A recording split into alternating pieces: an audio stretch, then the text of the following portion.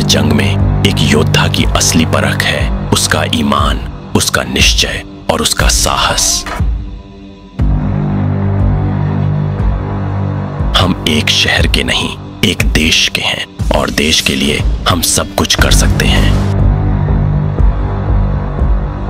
शक्ति सिर्फ़ तलवार में नहीं होती, बल्कि जिगर में होती है और मेरे जिगर में जिद का जज्बा है। हर एक युद्ध में एक नया इम्तिहान होता है और असली योद्धा वही है जो हार नहीं मानता।